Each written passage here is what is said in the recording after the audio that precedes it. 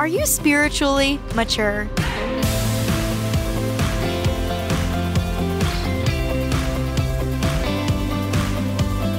Hi there, I'm Natty Anderson, and you're listening to Unlocked, your daily key to unlocking God's Word in your life. I have a lot of different interests. And when I get into something, I get into it. I love to learn more and explore all of its opportunities. For example, I recently discovered a strange interest in the funeral industry, so I've been absorbing all I can about random aspects reading reflective books, listening to history and commentary, purposefully following morticians and funeral home directors just to learn more about what they do, how they do it, and how they serve people in one of the most vulnerable times in their lives.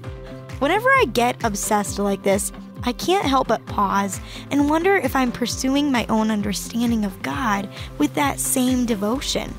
How have you been growing closer to God lately? Well, that's what we'll be talking about in today's Devo.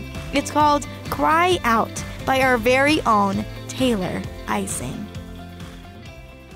What do we need to do in order to become more spiritually mature? Be really self sufficient? Come up with all the right answers to life's questions? In 1 Peter 2 2, we are told to, like newborn babies, crave pure spiritual milk, so that by it you may grow up in your salvation. This metaphor really caught my attention, and the more I thought about it, the more sense it made.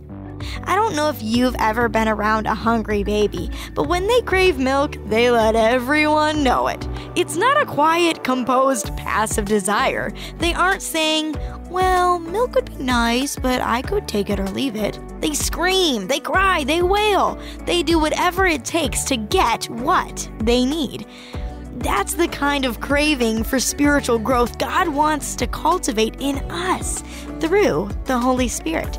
He wants us to cry out, passionately desiring more and more of His goodness, desiring to know Him and His love for us more deeply, to walk with Him more closely, to become more like Jesus, and to love Him and others more fiercely.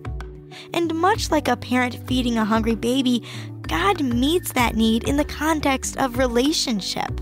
When babies eat, whether they nurse or are given a bottle, they are held close in the arms of their caregiver as they get the nourishment they need. Likewise, the only way for us to receive spiritual nourishment from God is to draw near to Him. There's no such thing as spiritual growth apart from relationship with God. It's only in the context of deep, intimate relationship with Jesus that we can grow and thrive spiritually.